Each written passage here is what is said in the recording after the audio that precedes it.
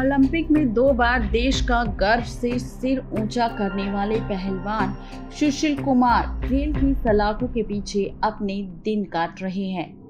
आपको बता दें कि अपनी इतनी मेहनत से कमाए हुए सम्मान को पल भर में अपनी एक गलती से उसे मिट्टी में मिला दिया। आपको बता दें कि दो बार के ओलंपिक मेडलिस्ट सुशील इस समय पुलिस हिरासत में है। उन पर 23 साल के पहलवान सागर धनखड़ के निधन के मामले में शामिल होने का आरोप है। 4 मई को छत्रसाल स्टेडियम में उनका काफ़ी ज़्यादा झगड़ा हो गया था और उन्होंने अपने दोस्तों के साथ मिलकर सागर को काफ़ी बुरी तरह पीटा, जिसकी वजह से उसका निधन हो गया। सुशील इस घटना के बाद फरार हो गए थे।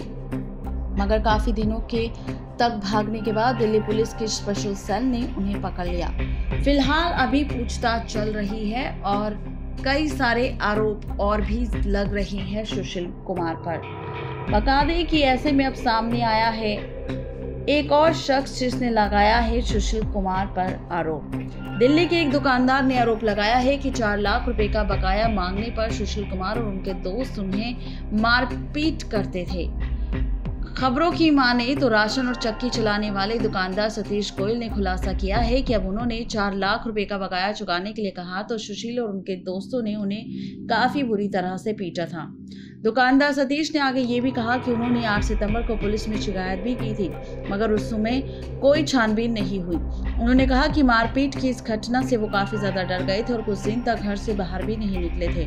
खबरों की माने तो निधन के इस मामले में दिल्ली पुलिस की क्राइम ब्रांच तीन और लोगों को गिरफ़्तार किया है। शनिवार को दिल्ली कोर्ट सुशील कुमार को चार दिन के लिए पुलिस कस्टडी में भेज दिया गया है। आपको बता दें कि अब खबर आ रही है कि सुशील पर फिर से लग चुका है एक राशन की दुकानदार का आरोप, जहाँ पर चार लाख रुपया बकाया होने पर सुशील कुमार ने उसे पैसे ना देकर उसे मारा पीटा और अपनी, अपना डर बैठा दिया।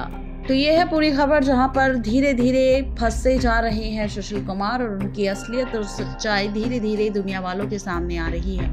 नेक्स्ट लाइफ से रजनी की रिपोर्ट।